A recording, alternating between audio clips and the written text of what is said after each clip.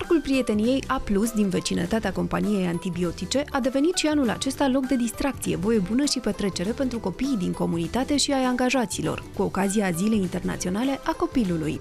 Iată că de 1 iunie, cred că e al 16-lea an în care compania organizează un eveniment special pentru copiii angajaților.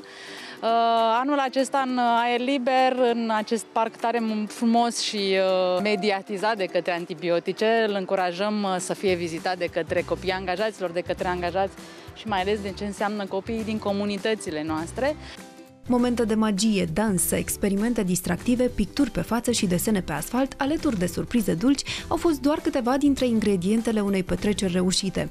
Copii și părinți, deopotrivă, s-au bucurat de natură și distracție împreună o ocazie benefică pentru copiii noștri, cât și noi părinții, angajații antibiotice, de a petrece timp frumos și de calitate împreună. Uh, colegii noștri ne surprind mereu cu programe frumoase, iar uh, al meu copil este mereu încântat de a veni și a petrece timp cu uh, prietenii și colegii ei.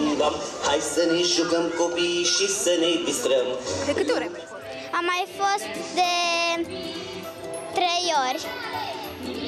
Și ți-a plăcut, da? Da, foarte mult. Și cu cine ai venit? Cu mami, cu tati? Ambii. În ce fel de activități ai făcut?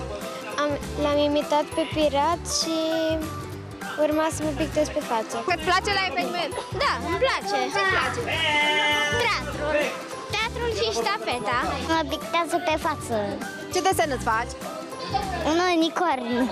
Vă place aici? Da! N-am auzit.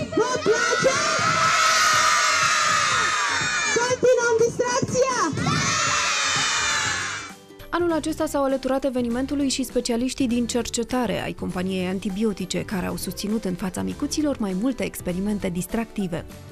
Chimia poate fi distractivă, poate fi amuzantă și ador să văd bucuria și uimirea pe chipul lor atunci când uh, ceva se transformă, se colorează, iese fum, fac wow!